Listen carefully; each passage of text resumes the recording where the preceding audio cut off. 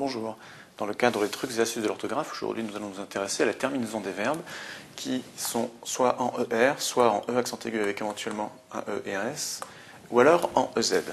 Mais dans un premier temps, une très rapide partie théorique en bleu. Donc ER correspond à la terminaison de l'infinitif des verbes, on met entre parenthèses essentiellement du premier groupe, oui, parce qu'en effet certains verbes du troisième groupe peuvent avoir un infinitif en ER. Mais retenons ça. ER correspond à la terminaison de l'infinitif des verbes du premier groupe.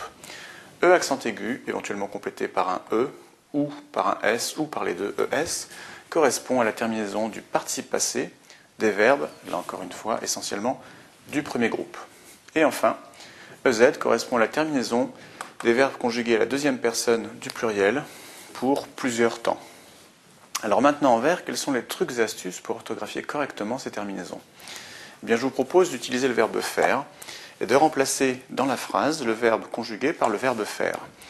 Donc si dans cette phrase le verbe faire peut euh, prendre la forme infinitive, c'est-à-dire faire, à ce moment-là la terminaison sera en ER.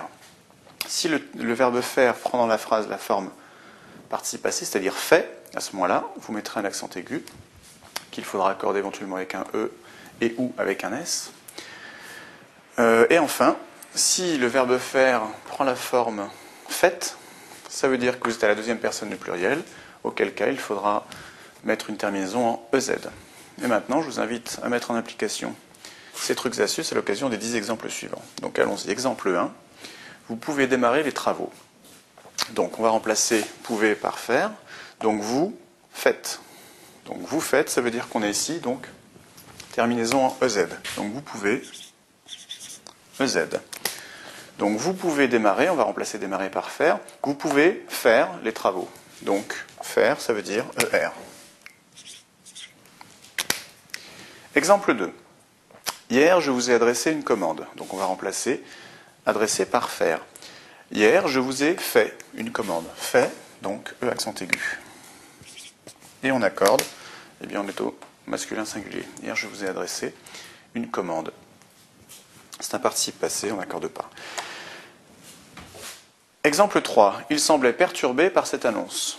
Il semblait, on va remplacer le verbe perturber par le verbe faire, il semblait, on dira, il semblait fait par cette annonce. Donc, accent aigu. Masculin singulier. Exemple 4.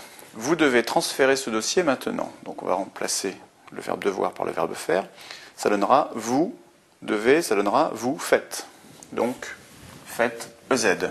Donc, vous devez EZ. Vous devez transférer. Donc on va remplacer le verbe transférer par le verbe faire. Vous devez faire. Donc faire, c'est ici ER. Donc vous devez transférer ce dossier maintenant. Exemple 5. Elle aime chanter avec accompagnement. On va remplacer le verbe chanter par le verbe faire. Elle aime faire.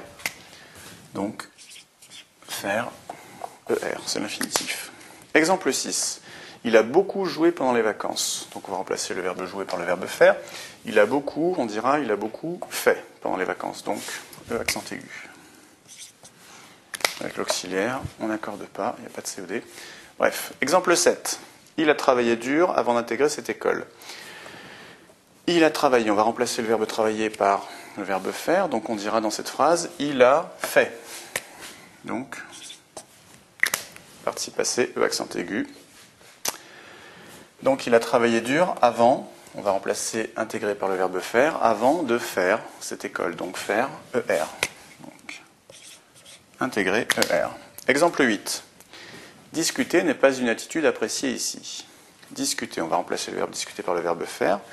Et dans, la phrase, ça donnera faire n'est pas une attitude appréciée ici. Donc faire ER, c'est-à-dire discuter ER. N'est pas une attitude appréciée. Donc on va remplacer apprécié par faire. Et dans cette phrase, faire donnera discuter n'est pas une attitude faite ici.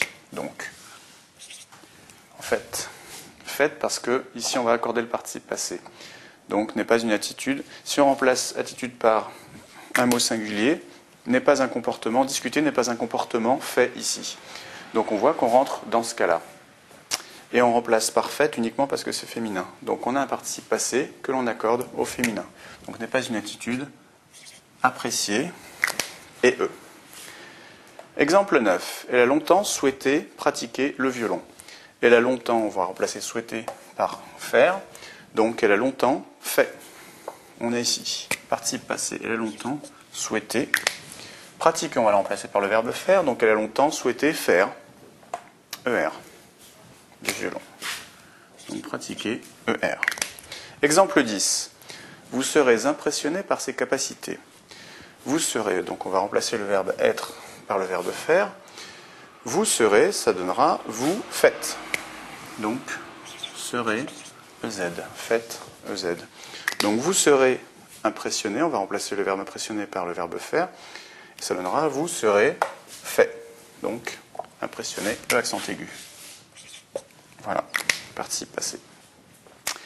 Donc voilà qui termine ces 10 exemples qui mettaient en application les trucs et astuces de l'orthographe pour orthographier correctement la terminaison en ER, E accent aigu avec éventuellement E et ou S ou EZ. Donc je vous dis à bientôt pour d'autres trucs et astuces de l'orthographe ou d'autres cours sur NetProf. Au revoir.